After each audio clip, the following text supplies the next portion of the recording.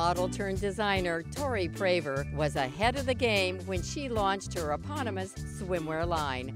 Myself being a bikini model was definitely a little advantage. Just the fact that I've been able to experience the fashion industry firsthand and, and know what people like and what people look for. The inspiration for this collection was deserts and sunsets and even Africa. Really based on natural tones and real earthy colors like olive green and a, um, a really deep ocean blue and the colors from the sunset. I have two different stories for the collection. I think they go together, but at the same time, the colors that I've pulled from each being inspiration, the earth tones from the desert and the shocking neons from the sunset. This is um, the olive green that I was referring to as well. It's, it's a new color and I just feel like it's so rich. This is the Luna, this is new.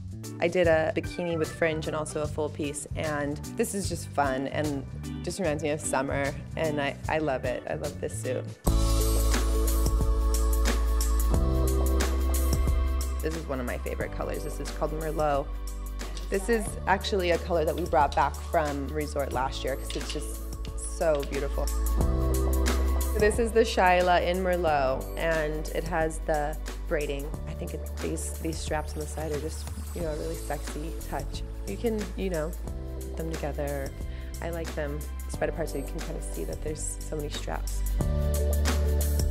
This is a new color. This is a really pretty deep blue. It reminds me of the ocean and like the color of the water in Hawaii where I'm from.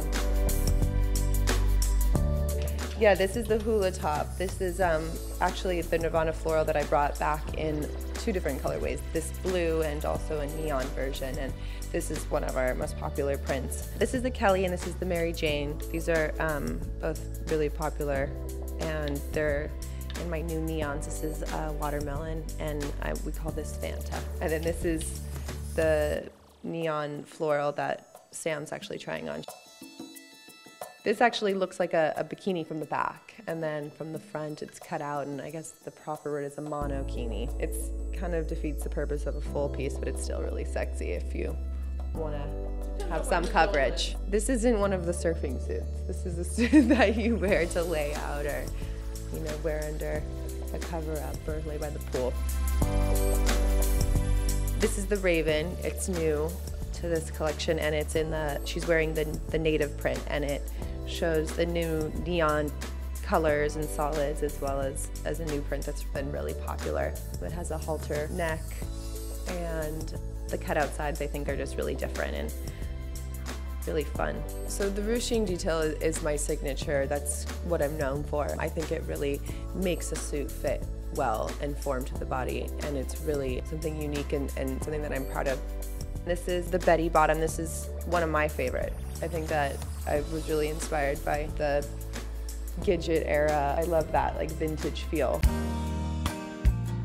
I design things that I want to wear, really, and I and I love just to put on like a pair of little light shorts or pants after the beach. These are new to the collection. I have shorts and pants version. We um, have a few new styles of the modal cotton fabric and then I actually injected some gauzy cover-ups as well. I really, really take pride in the fact that everyone can find one of my suits that fit them. It's really versatile and, you know, any age group can wear them. My grandma has a suit, and my mom wears my bikinis, and, and, all my girlfriends under my age wear, wear them. And I also sell a separate, so depending on, you know, you, you may be larger on top than the bottom or vice versa, and my suits allow you to kind of pick what sizes fit your body best. Tori also designed suits for the tiniest bodies of all. I actually have quite a few friends at home in Hawaii that have kids. And they always have asked me, when are you gonna do baby suits? We wanna see baby suits. So this is the Keiki line we, we started th this year. Well, I feel like for, for babies, you don't wanna be in anything that's too hard or, or dark. The baby paint, this little ditzy floral print and the light pastels. So I think it'll be pretty cute someday to see a mom and daughter duo wearing my suits.